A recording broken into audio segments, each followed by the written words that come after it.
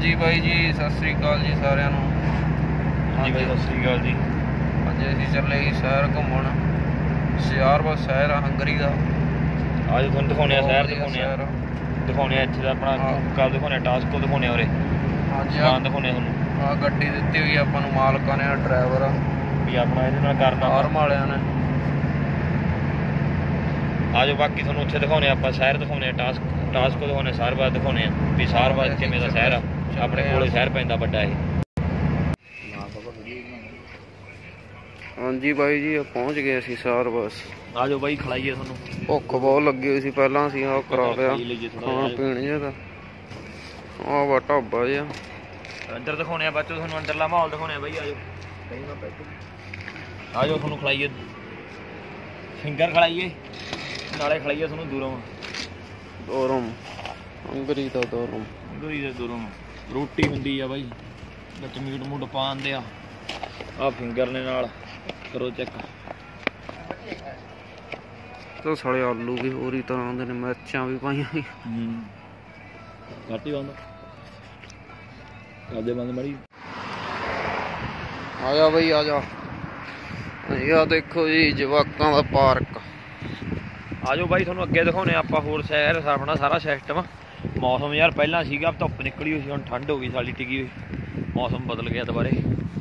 ਪਹਿਲਾਂ ਵਧੀਆ ਲੱਗਿਆ ਸੀ ਦਿਨ। ਠੰਡ ਸਾਲੀ ਖਾਸੀ ਹੋ ਗਈ ਹੋਰ ਹੋਰ। ਆ ਚੈੱਕ ਕਰੋ ਬਾਈ ਸ਼ਹਿਰ ਆਪਣਾ। ਇਹ ਸਾਰ ਬਸ ਸ਼ਹਿਰ ਆਪਾਂ ਨੂੰ ਹੈਗਾ 20 25 ਕਿਲੋਮੀਟਰ। ਆਪਾਂ ਅੱਜ ਆਏ ਆ ਆਪਾਂ ਕਿਹਾ ਵੀ ਚੱਲ ਦਿਖਾਈਏ ਬਾਈਆਂ ਨੂੰ ਸਾਰਿਆਂ ਨੂੰ ਆਪਣਾ। ਹੂੰ। ਅੰਗਰੀ ਦਾ ਸ਼ਹਿਰ ਦਿਖਾਈਏ। ਹਾਂ ਇਹ ਸੀਗੇ ਪਾਰਕ ਦੇਖ ਲੈ ਕਿੰਨੇ ਸੋਹਣੇ ਨੇ, ਆਪਣੇ ਹਜੇ ਕਦੋਂ ਬਣਨਗੇ? ਆਪਣੇ ਬਣਨਗੇ ਬਾਈ, ਆਉਣ ਵਾਲੇ 60 70 ਸਾਲਾਂ ਤੱਕ। ਆਪਣਾ ਤਾਂ ਦੇਖ ਨਹੀਂ ਸਕਦੇ ਆਪਣੇ ਵਾਲੀਆਂ ਆਉਣ ਵਾਲੀਆਂ ਪੀੜ੍ਹੀਆਂ, ਉਹ ਬਾਹਰ ਆ ਜਾਣਾ ਜਾਨ ਉਹਨਾਂ ਨੇ।